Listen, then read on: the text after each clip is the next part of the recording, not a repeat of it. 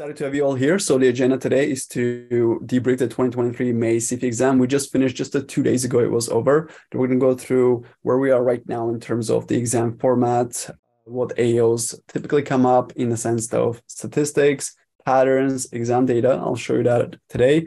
And after that, we'll talk about the September 2023 CFE. Before watching this webinar, I hope you had a chance to watch my other video on YouTube, which is called uh, The Guide to CP. It shows the basics of the CP program because we use a lot of terminology in this. And if you're not familiar with the CP, you may not understand it. My name is Gevorg. I'm a CPA exam coach. I'm sure a lot of you have heard my name or you've seen us, a few of my videos. I'm, I'm essentially a person, a tutor who helps students prepare and pass the CPA exams, PEP exams, CP exam, and PERT reporting as well. I've been featured in a lot of places. I work as an instructor in an institute, and I've also worked as a case marker. I work with CPA Canada as a session leader, as a lead panelist, as a mentor, etc., etc. So I have a ton of experience with CPA Canada as well as in the educational field, and I'm excited to share all of this with you today. So let's talk about the May 2023 CFE. You may have heard some comments about it from your friends, or, or perhaps you're, you're really far away from it, but generally it went really, really well. There were not a lot of IT issues, which we get every now and then, and the exam halls were well facilitated, meaning uh, it was it was pretty comfortable in the exam room. Sure, there were a little bit of a noise from students, uh, like some people have told me that there was like angry typing going on next to them. So you can take earplugs and wear those. But otherwise, it was generally well facilitated. The exam was held across the nation. We are not in hotel rooms anymore. You may have heard about it that during the pandemic, we had the exam in hotel rooms, but that's no longer the case. It was in the exam centers. These are the laptops that you get from CPA. So you're not allowed to take your laptop there. They're going to give you their own laptop. You you should take your mouse, by the way. The as you can see in this picture, there's a wired mouse. The best tip I can give you about the the laptops is a take a mouse. B, be used to a little bit of a slugginess because the Secure Client software, which you don't have access to until the exam, it's a little bit slower than Microsoft Word and Excel. So you have to uh, compensate for a couple of more minutes that you're gonna have to wait for the program to respond to you, like for the entire exam duration. So just prepared of be prepared for a little bit of slugginess from that program. Just the keys are slow to respond on it. And if you do have any IT issues in your CFE, please make sure to raise your hand and let the IT proctor come right away and take a look at it. Because if they don't document that they had that you had IT issues, they're not going to give you extra time to finish the exam. So there were no like really crazy topics tested in the May CFE. There were like people always say, "Oh, will crypto be tested?" Or nowadays, the generative AI is, is the new thing. So everybody's like, "Will like we will get a case on AI, or will that be tested?" None of it was really there. A lot of the AOs were quite repetitive. There was really one major curveball when it comes to financial reporting, and that was an AO on hedging. Believe it or not, we got a question on IFRS, uh, sorry, ASPE hedging question, a forward contract, and how to do accounting for it. I'll I'll talk to you more about it in a moment, but essentially a lot of people didn't know how to answer it, and that was the complex topic. But besides that topic, I'll just name a few topics that came up in the CFE. Revenue recognition under ASPE, intangible assets under ASPE, account receivable impairment under ASPE, uh, which is essentially financial instrument, and under management accounting, activity-based costing, uh, cost allocation. Those are pretty straightforward. Under assurance, we had audit planning memo, we had WIR, we had procedures, reviewing the juniors' work. Under PM, we had KPIs. Uh, we had various decision analysis like outsource, quant, and qual. So nothing really too weird. It was a pretty standard exam, and, and I know if you ask your peers, they'll say it was pretty damn hard, but I don't really think so. I wouldn't find I wouldn't classify this exam extremely hard because there were previous exams that had much much tougher topics. So nothing too bad. It was pretty repetitive, and um, the yeah the only curveballs was that we had quite a bit of uh, complex ma topics and especially for the pm role and i'm seeing this pattern two years now. In may exams the pm role tends to have quite a bit of difficult aos while uh, the assurance and the others seem to be a little bit more straightforward. Like i'll give you an example. In september 2022 the cfe before this uh, we had in assurance role no audit planning memo you may have seen audit plan memo in your PEP exams. It's a very common topic, but we didn't have it. And it was a big surprise to a lot of students because it comes up in every CFE. But in this CFE, we had it without any issue. So it was there. So in, in September CFEs, the assurance role people, you get tough questions. In May exams, PM people get tough questions. And finance, finance is tough, tough always. Finance is no exception. Doesn't matter May or September. You always get this really strange questions you've never seen before. And tax is very technical, a lot of questions, a lot of calculations. So you got to be really good with tax if you want to nail the tax competency. I'll be back up here. So I'm going to jump to my other screen here and I'm going to walk you through the day one of the CP exam because we had two cases there.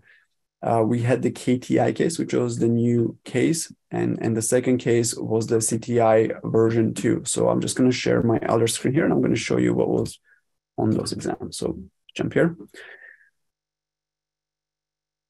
All right, let's go to CTI and KTI. All right, so CTI. So CTI version two was for students who didn't pass uh, last May, and, and actually they had a choice between the two cases, but uh, it was mostly written by students who writing the second time, while KTI was for the first time writers. Uh, so CTI was about creative toys. It's like a toy company, and this um, this exam had um, not a lot of curveballs. It was actually quite short. They, it had three strategic issues, as you can see here. It was uh, about some sort of an app that this toy company is manufacturing called a math app, something about building blocks and cold pair. And they also had a constraint, a $3 million cash constraint, meaning you were not supposed to recognize anything uh, beyond this. So we had three strategic issues and likely three operating issues, which is a little bit strange. Usually we have two of them, which was on KPIs, but CEO incentives, and then moving away from the mission and so on. So typically, day one of the CFE has four strategic issues and two operating issues and one big picture issue. I'll say one more time four strategic, two operating, and one big picture. This CTI case was a little bit strange because it had actually less questions than normal. It had only three questions, strategic ones instead of four, and it had uh, three operating instead of two, so a little bit more here and it also had a constraint on 3 million which is pretty normal. So it felt a little bit shorter and a lot of students who talked to me they said it wasn't too bad actually. It was pretty manageable. Uh, obviously the there were some issues with like understanding the quants what do they really ask you to do? But generally format wise it was it was pretty manageable. Let's go to kti now. Kti is a little bit more interesting because more people uh, wrote that case. So for kti it was the opposite of cti actually we had five strategic issues so we had one big picture issue, which was on the uh, $4 million cash constraint, meaning you couldn't have recommended more than $4 million. There was a second big picture issue, which we call strategic direction. And that was about should they pursue short term or long term? And then we had four strategic issues, which was uh, should they pursue a long term contract, acquire a new company? Uh, should they choose this company called Leaf and partner with them? And should they keep or sell this other patent they have? As well as a contract with a US firm, and then two operating issues, which was on supply chain and a strategic direction. So let's let's step back for a second. CTI, three issues, KTI, five issues. And you have the same four hours to solve both of them. So this is what some, this is something you should prepare for. They love changing things up and making things complicated for day one by giving you an extra case or a, not extra case, an extra required, an extra strategic issue you have to tackle, such as in this scenario. The quants there were not too bad. They were pretty straightforward, usually to answer day one quants. And you may want to write this down in your notes because it's super important. To answer the day one quants, you want to look at the objectives of the company and also look at the information in the appendix. Those two informations will tell you whether uh, what quant tool you're supposed to use, whether it's, uh, for example, profitability, CM, uh, one of those applies, or let's say payback. So the quants were pretty straightforward for students to find. I think the only really challenge in this case was just the time management because writing five strategic issues in such a short period of time was quite, quite difficult. So a lot of students didn't really have a chance to finish the fifth issue. All right, so there's our five issues for uh, KTI and then three for CTI.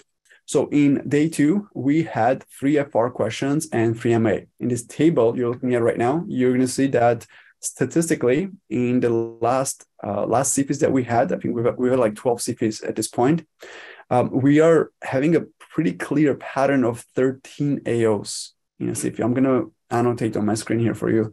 So you can see that um, over here, we have 13 AOs coming every every single day too. We have 13 AOs, as you can see right here. And the number of FR and MA questions seems to be either 3-3 or 4-2 right? As you can see in this table, it's free free or 4-2. And for the May 2023 CFE, it was a free free. Going into the exam, I told my students, uh, guys, be careful. You're going to get either three questions or, or two or four. So be smart about it, be strategic about it. And I'll tell you some strategies on how to balance those AOs a little bit later. But expect this many AOs for your September exam. I'm quite confident that in in your September exam, you're going to get either free free or 4-2. So free MA, free FR, or 4-2 either combination. You will notice that earlier from 2017 and 2016 or 2015 was a little bit weird. We had like 12 AOs, Sometimes we had six, zero, five, zero, and so on. If you look at this part of my slides right here, uh, that's that's really old, and the exam pattern has changed quite a bit in all the years, and we don't really have this anymore. We're pretty clear that it's going to be the breakdown is going to be uh, like free, free, or four, two, and so on. So just keep that in the back of your mind when you go to the exam. You are going to get FR, you're going to get MA. Um, you'll notice in 2023 M column, uh, I have ASPE right here look at look at the um, look at the standards before it IFRS IFRS ASPE, IFRS, ASPE. Then we had like two IFRS here, two ASPE here, two IFRS. So going backwards in time, it was pretty clear we had two IFRSs, then we had two ASPEs, two IFRSs, and then in here became like one or the other. We had one, this one, one, this one, one, this one, and then we had two IFRSs back to back. So one of the most frequently asked questions I get, you know, what are we going to get in a day two? What is going to be the standard? And I put out a video video on it. You can find on my channel uh, before the CP where I said, well, I don't think you can get free IFRSs because that's a bit too much, and I've never seen it in the last 12 years where they do free IFRSs. So using this data, I predicted that we're going to have an ASPE case, and yeah, it was just a pure prediction. I could have been damn wrong, but it did happen to be an ASPE. So good for folks writing the CP because you'll have to agree with me. A lot of people find IFRS harder than ASPE. Generally, the standards are shorter it's a little bit more simplified. There's not that many rules. So so yeah, it was an ASPE exam case. And what are you going to get in your September? Probably that's what you're wondering. I don't know. so this one is very hard to guess for me because uh, part of me wants to say you're going to get IFRS in your exam because uh, looking at 2021 and 2020, you will see that it was like one or the other. It was like flipping back and forth. Like for every uh, for every ASPE we had, it was followed by IFRS, then ASPE, then IFRS. So my thought is, since you got ASPE now, we get ASPE now, you are probably going to get IFRS. That's one part of me thinks that. Another part of me thinks that they may want to do again double double. So you may get ASPE. So this one is something I'm not going to try to predict because this one is pure 50 50. Uh, for May, I, I had a pretty good feeling it's going to be ASPE for, but for your exam in September, I really can't guess. It could be either one. So you guys really got to study both of them to be super prepared for this exam going back to the AOs I was talking about. So uh, from FR, we had the RevRec, which was which had like a bill and hold question, intangible assets, uh, uh, AR, and the AR had two sub issues within it. You had foreign currency AO for AR, and also financial instruments, which was about air impairment of AR. And if you don't notice, account receivable is actually a financial instrument. Uh, for the MA side, we had the ABC costing. They were you were given a cash budget, and you simply had to revise it and then you have to categorize or allocate, excuse me, allocate costs. You have to categorize and allocate the costs. So, so you can see there were quite a bit of versatility in these AOs. And one thing I like, the for the first time in in this May CFE after the pandemic has been over, the financial statements that you get in the day two exam, they were preloaded into the system. A preloaded financial statement essentially means that it would um, you didn't have to type out the financial statements; they were already in the Excel as a second tab in your secure client software. It essentially meant you could have copied the numbers into your working tab and quickly crunch the numbers. This made some people believe that they may ask you a question where you have to revise the entire financial statements, but we didn't get an AO like that. Chances are you may get it in your exam. You may get financial statements, draft financial statements, and one of the AOs may say, please revise the financial statements based on the FR adjustments. This makes sense because if the financial statements are preloaded, then it's quite easy to copy them and make the change. And we used to have AOs like that previously when they were preloaded. So maybe add to your notes now, uh, expect an AO on financial statements that may need uh, revision or financial statements that uh, you may need to adjust based on the preloaded uh, preloaded numbers. By the way, it's not just the financial statements that are preloaded. Anything more than 10 lines is preloaded into the secure client software in day one, two, and three. Here are the AOs that came up for the assurance. I, I kind of alluded to this, alluded to this a little bit earlier. So we had audit planning memo, classical comes up, every time except for once it didn't come up, September 2022. We had two procedure AOs. One was on environmental statements, some sort of website environmental statements they had. Another one on a specific section of the company, AR payroll and the general, general administration. We had a junior auditor do some work, and you were advised to review the junior auditor's work and provide comments on it. WIR, control weaknesses, very common. And then that curveball, the biggest and most difficult question in the entire exam, hedge accounting. How do you do accounting for a forward contract? And I put a guideline there for anybody who's curious. Uh, ASPE 3856 A62A has a guidance on how to do accounting for it. What are your thoughts on this? Maybe take a second to think about those AOs. I'll tell you my, my thought on it. Number one, procedures. Pay attention to it. This is pretty damn predict, uh, pretty damn consistent. You do get a lot of procedures. For the first one, where you see the audit planning memo, it includes the whole ramp. So risk, approach, materiality, and procedures. So let's count it. You have to do procedures on FR issues as part of your ramp. You do another procedures on a website environment statement and you do another procedures on the specific section of the company, like AR or whatever. So three AOs out of like seven AOs, and there are three AOs, almost half of them are own procedures. So add this to your notes, become excellent with procedures. You must be good with procedures because for sure, 100% you're going to get at least one AO on procedures. It may be substantive procedures on FR, or it may be test of control procedures to test uh, whether controls are being followed or not. You have to become good at structuring procedures, understanding how many do you need to get a pass, Uh, understanding what is the level of depth needed, how do you do a purpose on it. So dedicate a big chunk of your studies on procedures and, and analyze the solution keys that do give procedures so that you understand the structure, how to write it quickly, and write it in a way that makes sense because a lot of students tend to memorize procedures and just put it down, but that's not very smart you have to write procedures in a way that uh, makes sense for the company, that answers the risk, and it's not generic. It's very specific to the company because it is it is graded very deeply in the in the CP. Okay, so making note of it. This is probably the biggest takeaway for assurance writers is that procedures are coming up very often. Okay, next one, PM. So it's the same slide except on the uh, side I added the AOs for the PM. We had strategic direction. Um, AO come up. It essentially said where is the strategic direction of the company, uh, governance structure, outsourcing so it was a quant and qual and KPIs performance measures. So what are the performance measures? What are the KPIs? And uh, they are thinking of changing suppliers. Give your comments whether they should do it or not. And lastly, pricing. So for this one, I'll add this. Um, out of all these AOs, the the common ones that come up for PM writers, it's KPIs. KPIs and performance measures, it's super common, super common to get a A on that. So become good at uh, performance measures, financial and non-financial, and also become good at uh, analyzing uh, out like decision type of questions, such as outsourcing, should you buy or sell? Um, should you continue developing something or stop developing? So keep or drop. Another good thing about PM role, if you're someone writing the PM role, another advantage you have over assurance writers is that it prepares you for the day one of the CP as well. The day one of the CP consists of essentially four PM style questions. The four strategic issues that you get uh, are on quants. You have to do a quants on it, which are similar to the PM quants, and you have to do pro and con analysis. And that's it. You don't do financial reporting or assurance. This is all you get. So PM role writers have that slight advantage over assurance and others in that, in a sense that it helps them uh, understand uh, what are the, well, it helps them tackle the day one as well. Okay, tax people, these are the AOs that you got. Um, you had an AO on corporate taxable income and corporate tax payable. This first one is very classical. It comes up all the time um, you were asked to discuss the tax implications on the FR issues. If you had, let's say, the intangible asset, what does it mean from the tax perspective? Couple of GST AOs, actually two of them. One talked about the deadlines of GST, penalties, interest, and then one talked about the review and uh, asked you to review and recommend on GST.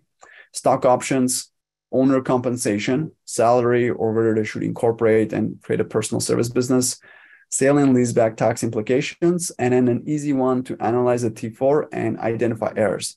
Uh, like one of my students said, that was like a, a, gift. It was like super easy. If you're writing tax for the CFE, you should definitely study corporate tax payable. This first one in my list. It, it comes up very, very often. Every CP we see that AO come up. And also the GST, HST, because it's been recently added to the competency map. It wasn't always there. It also comes up quite often. So make sure to study GST, HST implications. If you're not taking tax role on a CP day two, your knowledge of tax has to be at extremely high level. You really need to know the basics of the tax topics, the stuff you're seeing here, like the stock options for employee employer, it's not going to be tested because it's, it's it's at the elective level, not the core level. So you don't have to study stuff like that. But for example, salary versus dividends, you can definitely get that question at day three. It comes up very often. But for the more complex ones, like the sale and leaseback, stock options, that's too complex for day three riders. You don't have to study it. Okay, finance. Uh, we had this AOs come up valuation, hedging, source of financing, and capital budgeting. Uh, and also another valuation came up question. So uh, valuation is the most commonly tested finance day two role AO. Uh, usually you have a complex valuation. It's not a simple like a EBITDA multiple you can do five minutes. No, no, no, no, no. It's more DCF, CCF. Uh, you have various adjustments you need to do. They're really, really complex valuations. Sources of financing in, involves both quant and qual you have to do an analysis and determine how much quantitatively you will get from this option and also qualitatively which SOF makes more sense. So SOF stands for source of financing. And capital budgeting is an intensely complex NPV calculation. It's like NPV you've never seen before with again various various adjustments. Uh, you have to use a different WACC rate. You have to take into account the CCA tax shield. Super complex. So if you're writing finance as your role, be ready for quants. Be super ready for a lot of calculations and quants because that's the big part of finance so they say the PM role was very weird. Um, it was unlike anything I've seen before. And frankly, speak, frankly speaking, I, I, get this question often from students. They they do say like it was like nothing I've never seen before. Um, again, it's for it's for May CP because the board of examiners knows that in May mostly people from corporate are writing the PM role, so they make it very complex. But for the September exam, I, I tend to find that the PM role is a little bit easier, so you shouldn't have any problems with the PM. Now, I should be careful when I say the word easy because I'm sure a lot of you will disagree, but it is not as like it's a little bit easier to cache the information. One thing that made PM extremely hard for this CP compared to the others was that there are not a lot of case facts usually you you're given a ton of case facts to do your qual analysis the pros and cons. For this CFE for may 2023 there was very few case facts present. So the skill you needed to have is to get the take the small information and figure out what kind of case facts i can extract from it to write down my analysis. And uh, i expect it to repeat in September as well. I expect they're gonna crunch down the number of case facts they give you because in the board of examiner report, that's one of the comments they mentioned is that students are having difficult time uh, using case facts and being specific uh, in the way they analyze. They're being too generic. Uh, and also complex AOs. That's one of the things they said they're going to test you. What it means for you, strategies, you should study complex non-routine FR questions. As I said, the hedging came up, so you should know those kind of complex topics. You should practice every past day two exam case because most people fail CFE due to day two. Um, sure, day three is harder too, but from my experience, when students call me and ask me for help, it's usually a day two problem that they have. You must understand what it takes to pass the CP, aka the passing profile, because this determines the strategy you need to use to pass the CP, and you have to manage your time well, especially in the day three of the CP. Here's a table showing all the complex uh, topics that came up uh, that I recommend that you study. A lot of those have already come up in recent CP, like the earnings per share, it came up in 2018. Um, operating segment IFRS that came up in September 2022, um, joint arrangement that came up in a recent CFE as well, business combination came up, foreign currency came up. Uh, so make sure to study all those complex topics in here. They they do come up on the exam. Don't think that they're not going to get like any of those tough questions. And by the way, when you get those AOs, they're like an entire page like an entire appendix full of information you get on it. So it's not really so simple. You got to be fast in how you analyze it and go through it. But make a note of this and make sure to study all of those because they do come up on exam very often. All right, top feedback on the for exam cases. It had too many EOs. Uh, the case one was very time constrained. And this is again like a pattern that I see uh, with day three. I'll show you a statistic in a second where you will see that day three exams tend to have like a, a bigger case in the beginning and then a shorter case in the end because you have like three cases. So the first case tends to be very time constrained. One of the students who emailed me said she was very happy that she did uh, the first case at the end. So she strategically flipped her cases because you get three cases. She did the third case uh, in the beginning as the first one, and then the second one, and then lastly the first case at the end. And you're allowed to rotate them if you want. She was thankful because the third case tends to be a little bit easier not always, but it's usually a little bit easier. So it's more manageable than the day one, uh, than the case number one, which is a little bit harder. So for you, for September writers, the strategy is you must have a breadth of knowledge. Make sure to scratch the surface. Scratch the surface. Don't go too deep. It's about the breadth. Again, you must understand the passing profile and how many C's do you really need to pass because you can actually skip some AOs and still pass the exam. You don't really need to answer every single one of them. Be careful with this, right? Don't skip too many, but a few skipped AOs is not going to be the end of the world. You will still pass, assuming other things are present, and you must manage your time well. So we had three cases. We always have three cases in a day three. Uh, for the blueprint, they can do four cases, but we've never seen that before. It's typically it tends to be three cases. We had a case called HG, which was case number one. Case number two was HAI, horsing around, funny name. And then case three was about CBA, Canadian Bobsled Association. Uh, the standards were IFRS, ASPE, and non-for-profit. Surprise, surprise, we had a, a non-for-profit AO come up. We, we we were expecting three FRAOs in day three because you got three in day two and you have six of those. So three came up in um, in day three, and the non-for-profit had multiple sub issues like baked inside it. Do you know what I mean? So there was one AO on FR, but the one AO was divided into three issues. So to get a C on it, you had to actually answer all the three issues. And those three issues were about contingent liability, impairment, and a contingent gain. So it had three actually components to one AO that you had to answer. And one of the guidelines for NPO is that you must uh, use ASPE if uh, there's no guidance in NPO. So the, the trick there was to do the ASPE. So the third case was 70 minutes, second case was 80 minutes, and the first one was 90 minutes. This is what I was telling you that the first case tends to be longer and more complex. I'm sure somebody out there is thinking, if they tested it in May 2023, am I going to get it in September? I'm thinking no. So this is one prediction I'm going to make, and I'm pretty confident about this uh, all of you out there in September, you're not going to get an NPO case. I'm, I'm pretty sure about it because they test NPO once every three, four years. There's a huge gap between them. Never they've tested it back to back. So you know what? You can put it all away and not study it. You should be okay. That I'm pretty confident about. So IFRS and ASPE. So let's check out the AOs that came up. I organized it by competency. So under FR, we had a RevRec question. It was IFRS 15 subscription. Most people said it was super easy, not too complex at all. We had a lease ASPE question, super easy. And then NPO was a little bit challenging. If you didn't really know NPO, it would have been super challenging, but the first two were pretty damn good, pretty damn easy. For MA, we had variance analysis, break-even point, and students say it was okay-ish, not too complex.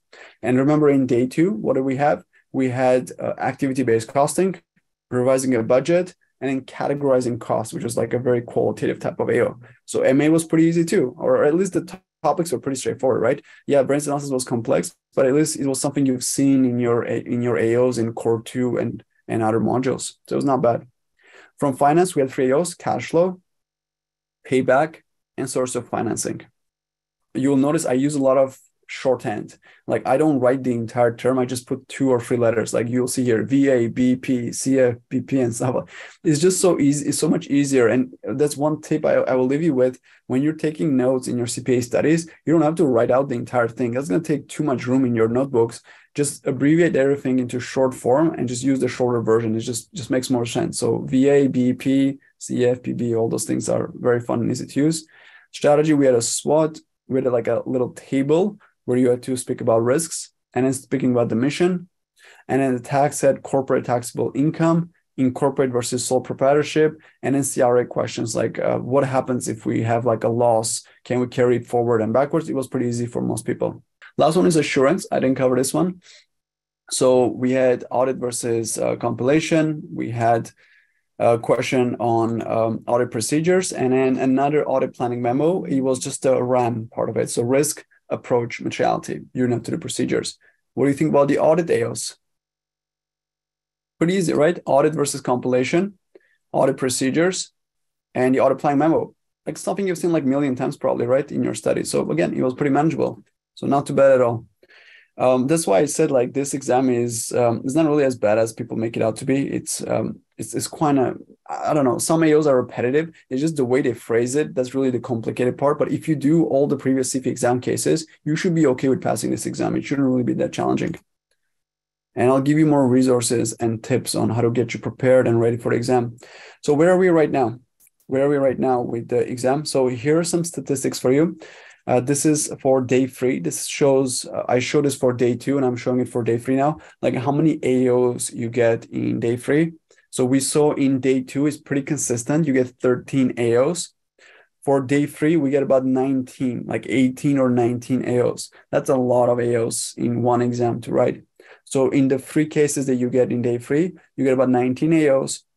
Three of them are usually FR, About three of them are MA. Sometimes it flips depending what came up on day two. And it's very consistent that you get three AOs in all other secondary areas. You can see that all of those areas have three AOs that are coming with it. So in your exam, in your CP, be prepared to have at least three AOs on strategy, on insurance, finance, and tax in the day three section. And the AOs I've shown you in my presentation, you can expect very similar AOs to that because they do repeat the same AOs over and over again. So it's not too bad. Um, this slide right here is showing you the time limit of the day three exam cases. So you will see that in minutes, uh, the, the last case tends to be the shortest.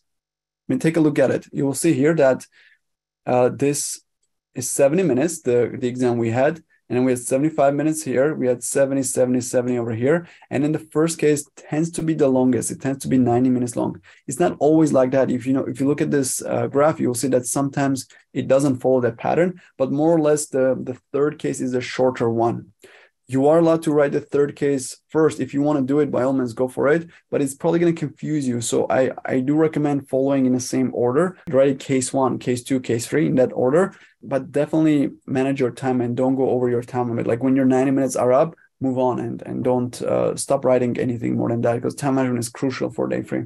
All right let's look at uh, the uh, September 2023, like what I expect, what I predict for the exam.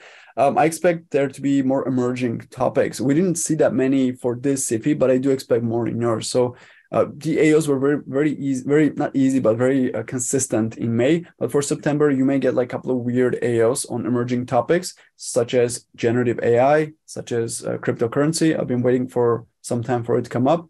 Uh, you will get data analytics. You may get a question where you have charts and you have to analyze it there'll be a big emphasis on the big picture issue on the day one exam case. And unfortunately, it's taught very poorly in a in a capstone 2. The way they teach you how to catch and analyze this big picture AO is very complex. And in capstone, too, they don't really teach you that well. So make sure to study what is big picture issue. I have a blog post on my website you can check out where, where I talk about it. And expect day one quants to be unclear, time constrained, and expect more complex question. Like we talked about, like we had hedging question, we had operating segments, uh, with EPS, business combinations. So those complex FR topics do come up on the CFE. Be prepared to tackle those. So here's my five-step approach to preparing and passing the CFE. Five steps. Understand the exam, prepare a study plan, start studying right now, start with technicals and get marking and support. Let's go through it step by step and I'll dig deeper and I'll explain how to how to go and analyze each of those steps. Number one, understand CFE. So what is CP exam about? What are the number of hours? What are the number of AOs? What are the rules of the exam? What is the passing profile of the exam? But understand the, the scheme of CFE, like the structure and the format, so you can adequately prepare for it. Because if you don't understand what's tested on the exam, then it's going to be very hard for you to really prepare for it. Uh, another resource you can use is, is, my YouTube video, which is called Guide to CFE. You can find on my channel. It gives you a really clean breakdown of the entire exam. Secondly, prepare a study plan how much time off do you need to prepare for the CFE? How many how many weeks of time off? I would say um, more the more the merrier, but no more than eight weeks. I think eight weeks is the absolute maximum. And a lot of people have told me that they get bored studying eight weeks and they start forgetting things they studied in the beginning. So perhaps four to five weeks is the sweet spot, and that doesn't include the exam week. So if you're writing in September, um, around August 8th or August 10th, the Monday around there is a good time to take time off. That is about like four weeks before the exam because you need that full time study leave to get out from all the distractions, uh, get away from your work, and eight hours a day just study and write a lot of cases because we have a lot of cases. I'm going to show you in a second how many cases we have.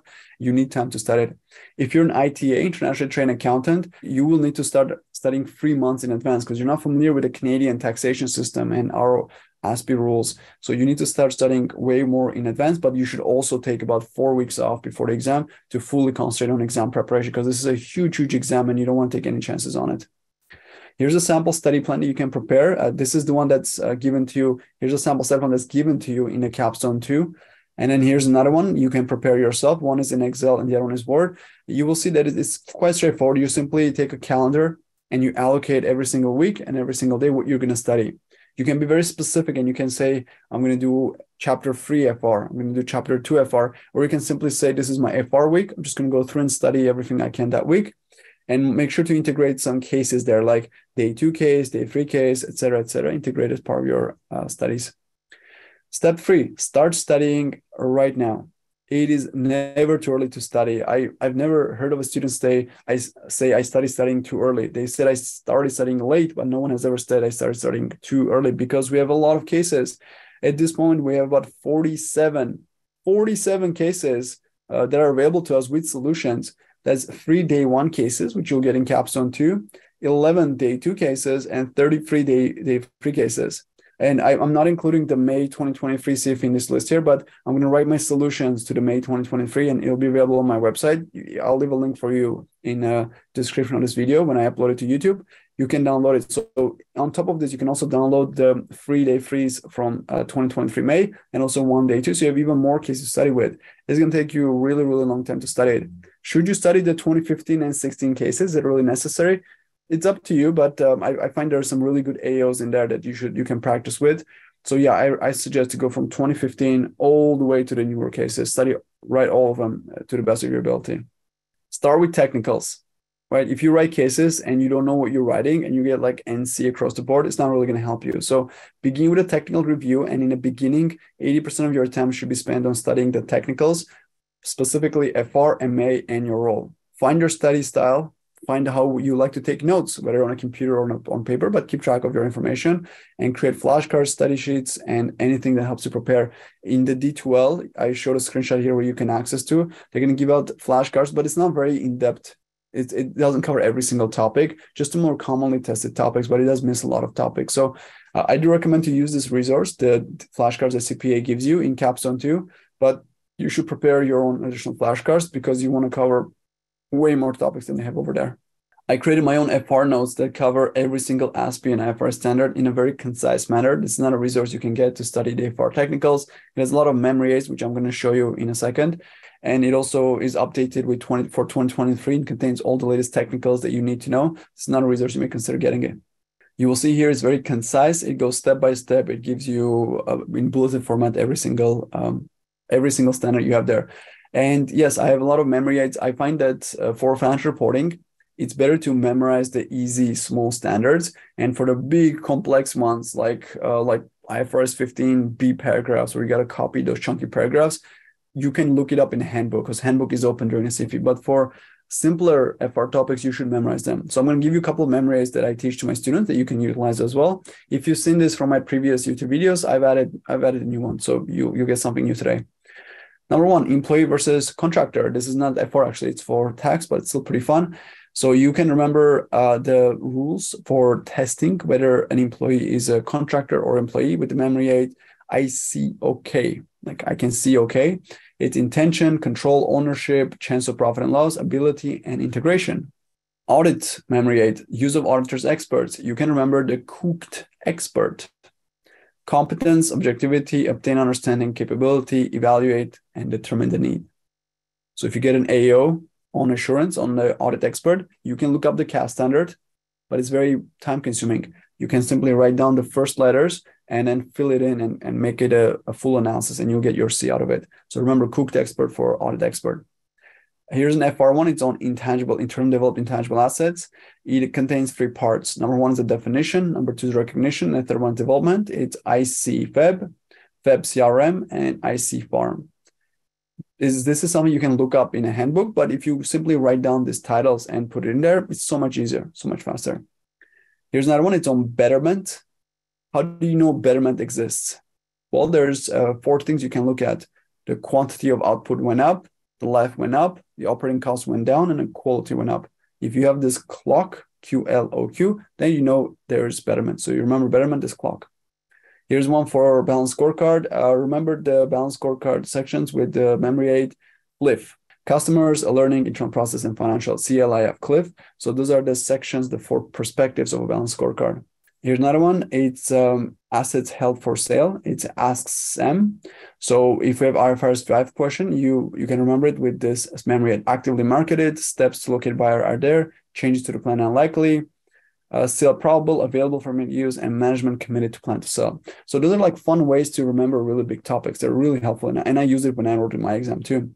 Here's a new one. It's for IFRS 15. Uh, how do you remember the five steps of IFRS 15? Think about I-STAR.